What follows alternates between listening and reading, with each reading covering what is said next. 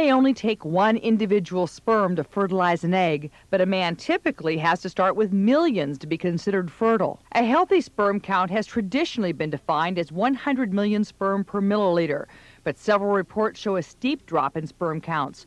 One prestigious study, done in Paris, showed a 33% drop in sperm counts over 20 years. There are decreases in sperm quality in industrialized nations. Dr. Paul Turek heads up the male reproductive clinic at UC San Francisco. He's intrigued by these studies, but says we don't know yet exactly what it means for men. Is there also a decline in the reproductive potential of those men and unanswered? Nonetheless, Opinion. If it's true, it's kind of concerning. Hope it doesn't happen to me.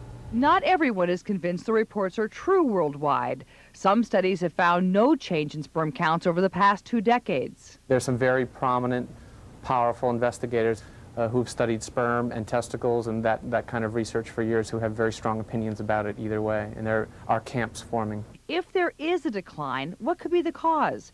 There are some very unusual theories by some researchers, but Turek also believes one potential cause is often overlooked. One underestimated variable stress. I think simple life stress is a very important uh, uh, feature here. But in the meantime, he says much more research is needed, and men shouldn't overreact.